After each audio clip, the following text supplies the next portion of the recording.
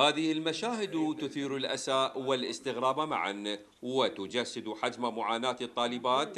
اللواتي شاءت أقدارهن بالسكن في هذا المكان. الأقسام الداخلية لطالبات كليات التربية للبنات والطب والتمريض في جامعة تكريت تبدو بهذه الصورة البائسة بسبب انعدام أغلب مستلزمات العيش.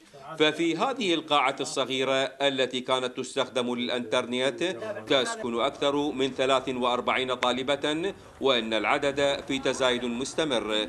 الطالبات ناشدن وزير التعليم العالي لقبول الاستضافة في جامعات أخرى قريبة من محافظاتهن. يعني هذا المكان يستوعب 26 بنية إحنا حاليا وصلنا 43 بنية يعني حتى بالقاع ما يكفي يعني ما يكفي النوم بالقاع. يعني مرحلة مصيبة ما قدرنا ننام الليل من وراء الذبان والبق والحساسية. كل شيء كل شيء عزنا يعني لا شرابي لا لوكرات لا ثلاجات لا مكان مال دراسة لا قاعة دراسية ندرس بيها باردة الدنيا ليل يعني وين ندرس؟ أعدادنا هواية يعني بس نطلب شغلة أنه يفتحون الاستضافة لباقي الجامعات.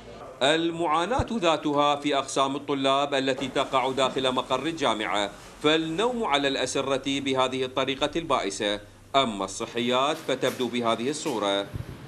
يعني أكو حتى شربايات ما كنا يعني شو نسوي؟ إحنا نرفع الشرباية ونحط جواها أربع بلوكات حتى واحد يخش جوا يعني من قد ما الزخم اللي رئاسة جامعة تكريت بذلت الجهود وفق إمكاناتها الذاتية لمعالجة المشاكل وقد أرجعت الأسباب إلى الضائقة المالية وتدمير أغلب بنايات محافظة صلاح الدين منها الجامعة نتيجة العمليات الإرهابية. كما أن الجامعة استقبلت أكثر من ضعف العدد المطلوب في الأقسام الداخلية ورغم هذه الصعاب تمكنت رئاسة الجامعة من الحصول على أكثر من 100 كرفان لم تستخدم حتى الآن لأنها بحاجة إلى دعم مالي من الأخيار والجهات المختصة.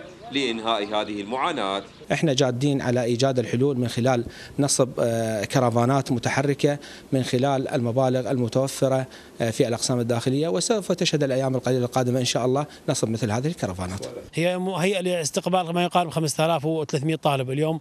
أتانا في المرحلة الأولى ما يقارب 8000 طالب و500 اذا فرق 3000 طالب الأوضاع السكنية للطلبة والطالبات في جامعة تكريت لا تسر عدوا ولا صديق ولم تصل إلى هذه الحالة لولا الضائقة المالية والخراب الذي أصاب المحافظة عموما.